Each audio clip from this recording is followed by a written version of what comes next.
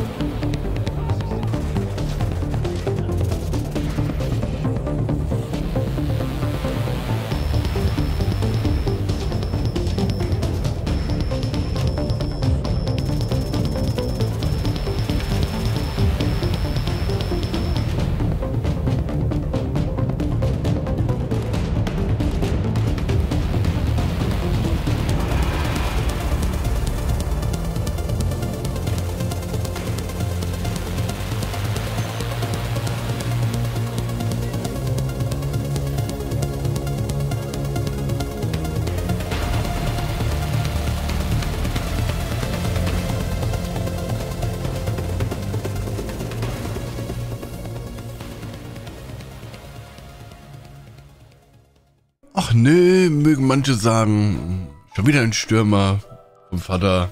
Aber das wie das, gell? Vater liebt die Stürmer halt. Ja, was war, was war die Grundidee dahinter? Zu stürmen und währenddessen sehr gut geheilt zu werden. Ich hatte schon mal was in, in ähnlicher Richtung gebaut, also mit der, mit der gleichen Intention. Aber das hier, das setzt dem Ganzen nochmal ein bisschen ein kleines Grünchen auf. So, pass auf, wie schaut's aus? Wir haben unsere vierteile Stürmer, ne? Klar. Durch die vierteile Stürmer kriegen wir 15% Waffenhandling, 15% Feuerrate, Wagnis des Stürmers, ne? Klar, die Stacks aufbauen und dadurch äh, bekommen wir den sehr, sehr guten Damage.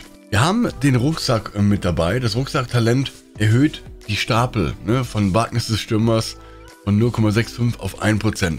Heißt einfach, wir können viel, viel schneller die Stacks aufbauen, was äh, dann natürlich äh, bedeutet, dass wir schneller ähm, Damage machen und im Umkehrschluss auch dann mehr. Die Coyote-Maske. Die Coyote-Maske einfach mitgenommen, weil sie ähm, einen Buff für einen selbst, je nachdem, wie weit man gerade entfernt ist und für das ganze Team bedeutet. Ne? 0 bis 15 Meter sind 25% Schaden durch kritische Treffer für dich und fürs Team.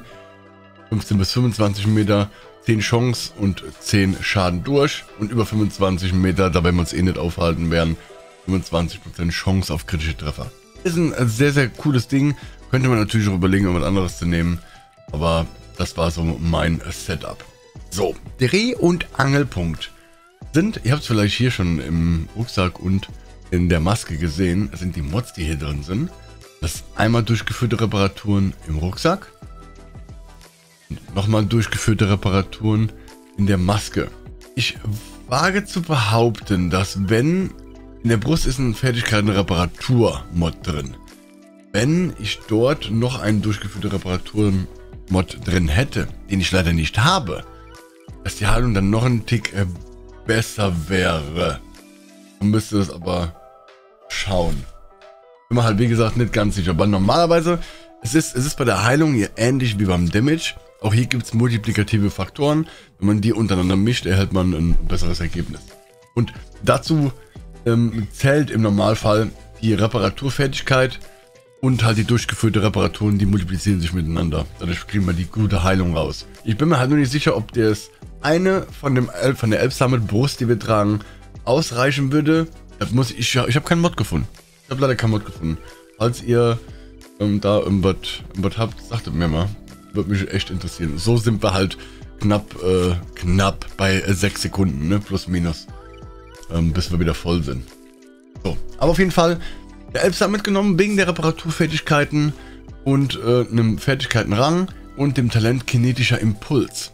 Im Kampf erzeugt jede Fertigkeit einen Stapel, wenn sie aktiv oder nicht im Cooldown ist.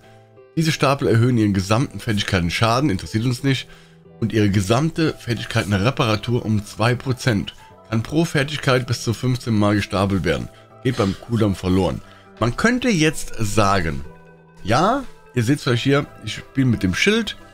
Habt ihr gesehen, das hat eine ähm, spezielle Bewandtnis, einfach weil, wenn ihr schweren Schaden reinkriegt, müsst ihr entweder eine Deckung aufsuchen oder ihr zückt euer Schild, geht damit in Deckung oder könnt es eventuell stemmen mit dem Schild, während die Drohne ne, euch halt voll heilt. Wenn man jetzt sagen würde, oh hier, bei kinetischer Impuls ist eh Fertigkeit, wird der Fertigkeitsschaden eh gebufft, dann könnte man noch irgendwas anderes mitnehmen. Scheißegal was, sei es ein Geschütz, um, um ein bisschen, ein bisschen äh, Aufmerksamkeit von einem abzulenken und oder was anderes. Ne? Lasst eure Kreativität freien Lauf. So, ich habe mich hier für, fürs Schild entschieden, weil es einfach schön ins, in den Spielstil passt.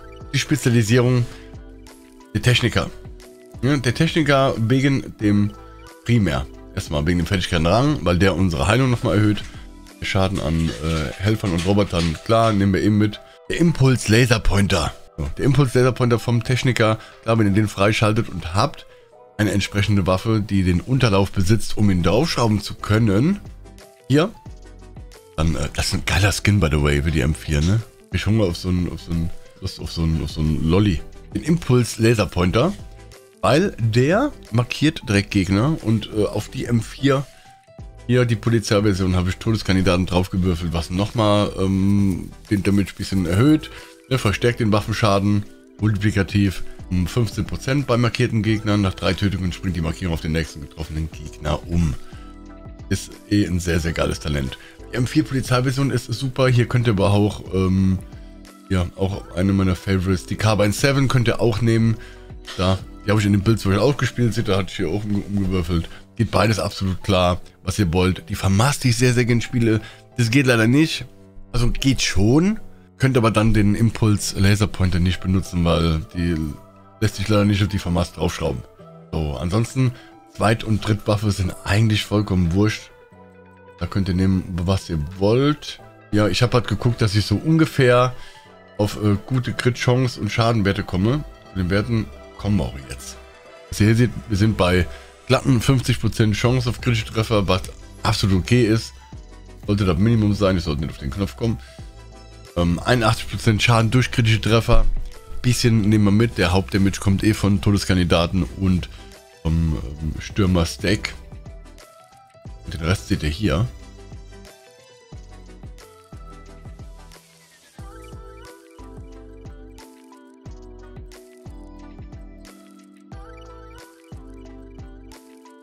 So, und zum Schluss würde ich sagen, gehen wir nochmal kurz runter. So, unten am Skistand schauen wir uns das Ganze äh, nochmal an. Ihr seht, dass wir, zwar klar, ne, wir verlieren durch ähm, das fehlende offensive Brusttalent, verlieren wir halt ein bisschen was an Damage. Aber der Schaden ist trotzdem noch mehr als ausreichend. Allein weil das äh, Stürmerbild an, an sich sehr, sehr stark ist, ne? Also das ist echt nice, das geht voll klar.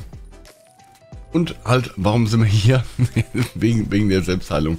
Circa 6 Sekunden. So, ne? Na, ich fest, nicht genau 6 Sekunden, aber so ungefähr 6 Sekunden. Ja, achtet drauf. Und äh, wir sind äh, voll. Ne? Die Heilung ist halt wirklich echt nice. Also da gibt es nichts. Man muss halt, wie gesagt, äh, aufpassen, wenn man, wenn man ein bisschen schnell am Laufen ist und sich dann heilt, weil die Drohne muss erstmal ein bisschen hinterherkommen und anfangen um, zu heilen. Das Ganze wird besser, wenn man nicht läuft, also wenn man nur normal rennt. Oder halt, wie gesagt, ne, wir hatten es mit dem, mit dem Schild, das Ganze macht, wenn man Schaden bekommt, sich hinter dem Schild ein bisschen versteckt, die Drohne ihre Arbeit äh, leistet und man selbst noch gut Damage raushaut. Da sind die Stacks natürlich weg. So, aber Leute, ich bin sehr, sehr gespannt, was ihr dazu sagt. Ähm, haut mir mal in die Kommentare. Ich bin raus und bis zum nächsten Mal. Macht's gut. Bye.